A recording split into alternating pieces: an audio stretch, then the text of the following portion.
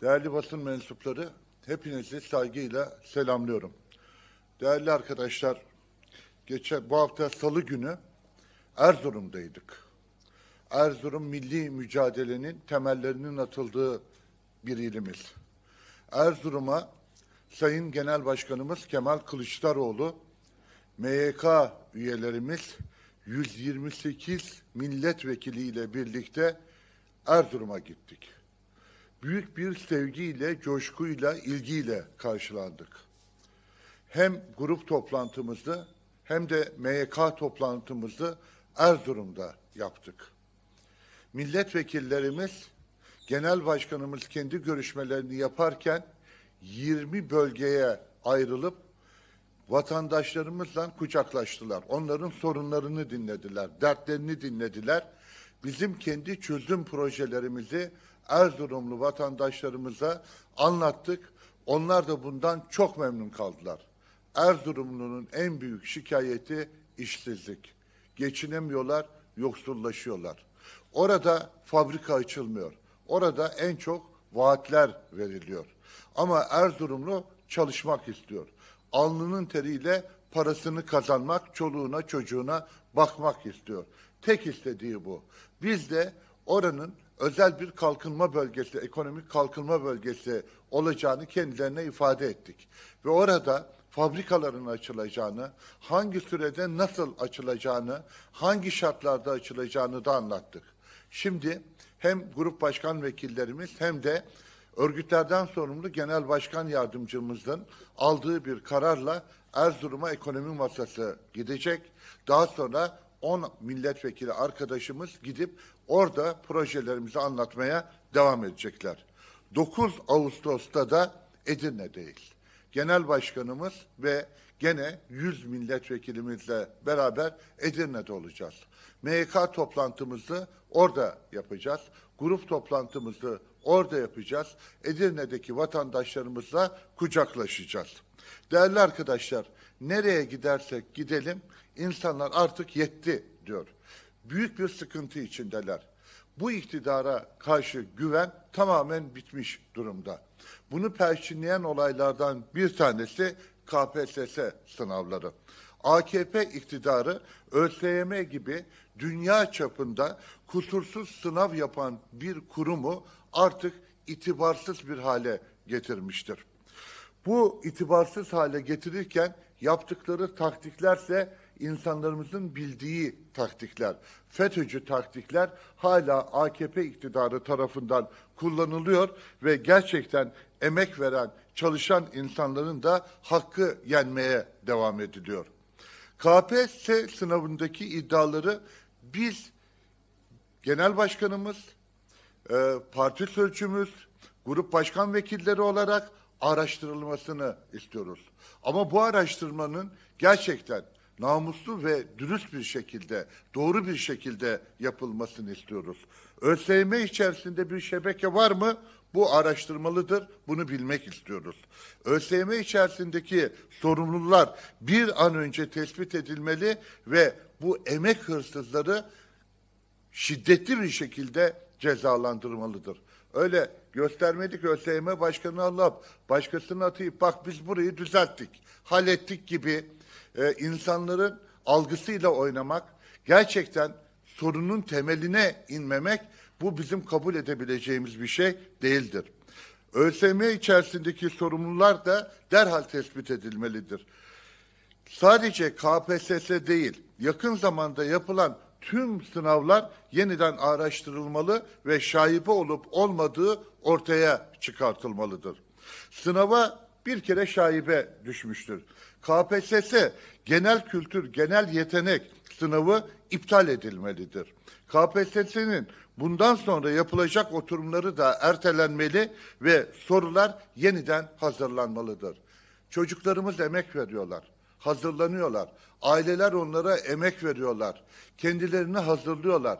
Başarılı olan çocuklarımızı cezalandıracak noktaya AKP iktidarı yaptığı usulsüzlüklerle bizi bu noktaya getiriyor. Oysa ki o çocuklarda gerçekten o sınavdaki o soruları rahatlıkla çözen ve rahatlayan çocuklarımızı tekrar böyle bir durumla karşı karşıya AKP iktidarı getiriyor. Genel başkanımız işte tam da burada diyor ki sorun sadece bu değil. O kadar çok sorun var ki AKP iktidarının kendisi sorun. AKP iktidarı gider. Gerçekten hakkın, hukukun, adaleti savunucusu, gerçekten liyakata e, değer veren bir iktidar oraya gelirse işte namuslu, dürüst, çalışkan insanlarımız bundan zarar görmezler. Bu ancak bir tek şekilde mümkün. Millet iktidar, Millet İttifakı'nın iktidara gelmesiyle mümkün. Biz tüm hazırlıklarımızı yapıyoruz. Çocuklarımızı liyakatla bir sınava sokup onların dürüstlük içerisinde, samimiyet içerisinde devletine güvenen, milletine güvenen, kurumlarına güvenen çocuklarımızın gönül rahatlığıyla sınavdan çıktıktan sonra kendi hayatlarını kurmaları için elimizden gelen her türlü tedbiri alacak bir iktidara hazırlık yapıyoruz. Bunun haricinde sözlü mülakatlar konusunda da çok ciddiyiz. Genel Başkanımız bu konuda da net tavrını koymuştur. Değerli arkadaşlar, hem Erzurum'da hem de Türkiye'nin her yerinde milletvekillerimiz sahada. Efendim diyorlar ki AKP'de 100 gün içerisinde yüz yüze insanlarla milletvekilleri gelecekmiş. Hangi yüzle gelecekler? Gerçekten çok merak ediyorum. Yani bir vatandaş onlara sorduğu zaman niye yoksullaştık? Hani söz vermiştiniz. Tayyip Erdoğan işte bu dolar böyle artmayacak demişti. Hele bana bir yetki verin demişti. Bize yetkiyi verdikten sonra bakın ne kadar güzel şeyler olacak demişti. Peki şimdi biz bu durumda neden bu durumdayız diye onlara sormayacaklar mı? Onlar TÜİK'e göre tüketici enflasyonu Temmuz'da yüzde 79.60'a yükseliyor. Vatandaş ya tekli rakamlara inmişken Cumhurbaşkanlığı sisteminde TÜİK'e göre bile yüzde 79.60'ı enflasyon yükseldiyse bunun suçlusu ben miyim, siz misiniz diye AKP milletvekillerine sormayacak mı? ENAK'a göre Temmuz enflasyonu yüzde 176 oldu. Temmuz'un zam şampiyonları listesinde ise ilk sırada ilaçlar geliyor. İnsanlar kendi sağlıklarıyla ilgili tedbir alırken bile büyük bir sıkıntı içerisine düşüyorlar. TÜİK'in açıkladığı enflasyon İstanbul Ticaret Odası'nda ENAK araştırma grubundan da daha düşük bir durumda. Enflasyon istatistikleriyle oynamak milletimizin maaşlarına gasp ettirmek demektir milletimiz maaşlarını artışlarını asgari ücretin artışı enflasyonla orantılı oluyor. Siz enflasyonu düşük düşür gösteriyorsunuz. Milletin maaşları da o derecede düşük olarak kalıyor.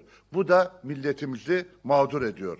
TÜİK'in makyajlı rakamlarıyla bile tüketici enflasyonu 1988 Eylül ayından bu yana en yüksek seviyede. Böyle bir üretici enflasyonuyla ne 1994 krizinde ne de 2001 krizinde ne de 1970'lerde böyle bir enflasyonla karşı karşıya kaldık.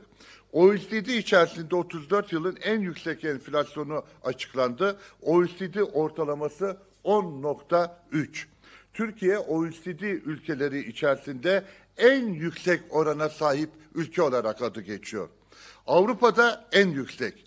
Dünya genelinde en yüksek enflasyona sahip altı ülkeden bir tanesiyiz.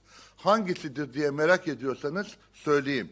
Suriye, Sudan, Venezuela, Lübnan, Zimbabwe. Milletimiz bugün hayat pahalılığı altında inim inim inliyorsa bunun tek bir sorumlusu var. Tayyip Erdoğan, Recep Tayyip Erdoğan. Verdiği sözlerin hiçbir tanesini yerine getirmedi milletimize ekonomiyle ilgili verdiği sözlerin hiçbir tanesini, dövizle ilgili verdiği sözlerin hiçbir tanesini, enflasyonla ilgili verdiği sözlerin hiçbir tanesini yerine getirmeyen kişi Recep Tayyip Erdoğan'dır. Son dört yılda bu ülkede üç hazine ve maliye bakanı, dört Merkez Bankası başkanı, beş TÜİK başkanı gördük. Gelen her kişi gideni maalesef arattı. Son Hazine ve Maliye Bakanı ise evlere şenlik. artık onun ne söylediği değil, eğer gerçekten siz kendinizle alay edilmesinden sıkılmıyorsanız gülüyorsunuz. Ama kendinizle alay edilmesinden gerçekten rahatsız oluyorsanız böyle bir Maliye Bakanı Türkiye'deki ekonominin başına neden getirilir diye hesap sormanız gerekiyor. Bakan Nebati yabancı bir bakanla konuşuyordum diyor. Kendisi ya yüzü kızaracak bir durumu bakın nasıl anlatıyor. Sizin enflasyon çok yüksek demiş muhatabı olan kişi. O da demiş ki doğru ama bakın ben bu enflasyonla sokağa çıkabiliyorum. Siz yüzde onluk enflasyonla sokağa çıkamıyorsunuz diyor. Yani kendi ülkesindeki insanları da aşağılayan bir ifadeyi o gülümseyerek milletin gözünün içine baka baka söyleyebilme cesaretini gösteriyor. Liyakatsız olduğunu zaten biliyoruz. Kendinin kendisini ifadeyle ilgili sıkıntıları da olduğunu biliyoruz. Ama milletimizi bu kadar aşağılayan, bu kadar küçümseyen bir ifadeyi bu kadar rahatlıkla söyleyebilmesini kabul etmek mümkün değil.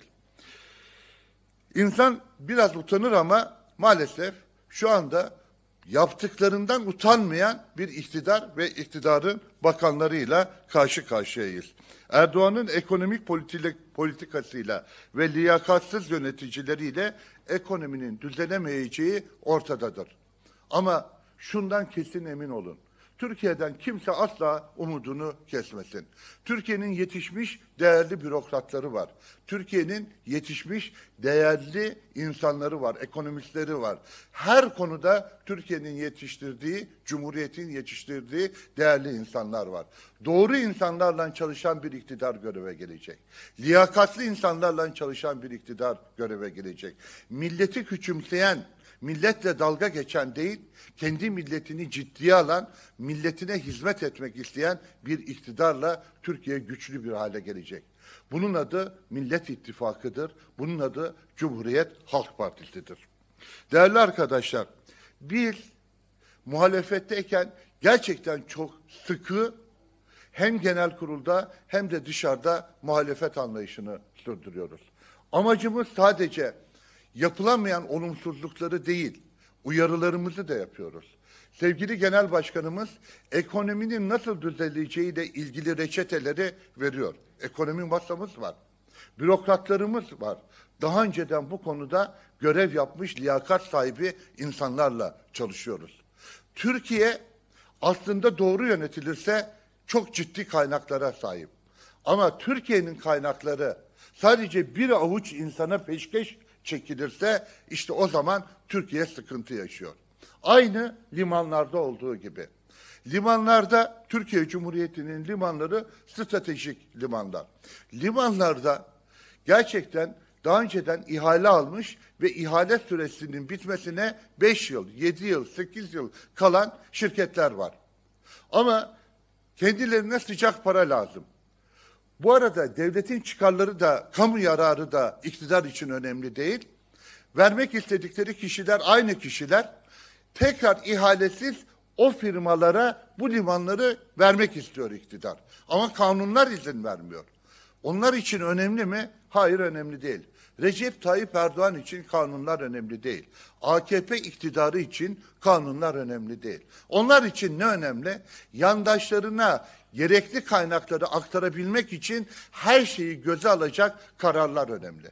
İşte böyle yaptılar. Ne yaptılar? Genel kurula getirip yasayı değiştirerek ihalesiz, kamu yararı olmadan aynı kişilere Katar'da başta olmak üzere limanlardan bir tanesini de Katar işletiyor. Katar'da başta olmak üzere limanları sürelerini 49 yıllığına çıkartarak Türkiye Cumhuriyeti Devleti'ni büyük bir zarara uğrattılar. Kendi yandaşlarına büyük bir kaynak aktardılar. Böylece kendileri millete zarar verirken, Türkiye Cumhuriyeti'ne zarar verirken yandaşlarını da zenginleştirmeye devam ettiler. İşte biz o yüzden sevgili Genel Başkanımız, liderimiz Kemal Kılıçdaroğlu beşli çeteden hesap soracağım derken işte bunun için söylüyor. Bizim hesap soracağımız kişiler milletimizin sırtından Türkiye Cumhuriyeti'nin kaynaklarını yok eden, hırsızlık yapan kişilerdir. Yasaları kendi menfaatlerine değiştiren kişilerden hesap soracağız.